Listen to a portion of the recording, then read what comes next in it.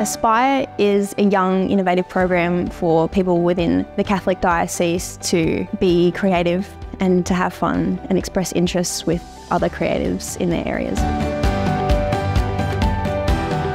I went to see a production a few years before I auditioned, and I just remember sitting in the audience thinking, that's what I want to do. So I auditioned and I was grateful enough to be accepted and I've been a member of the vocal ensemble for five years now.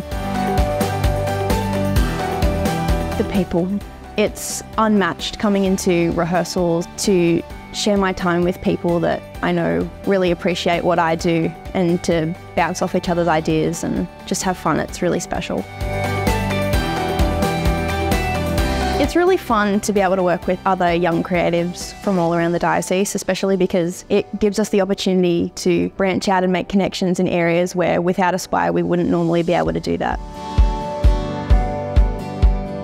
I think Aspire has really given me some great opportunities for exposure in terms of my own creative pathways, but also just to be able to work with other people and build skills in those kinds of areas. Like it's really important and Aspire's just, it's become like a second family for me. And I'm forever grateful for the people and the opportunities that I've had because of it.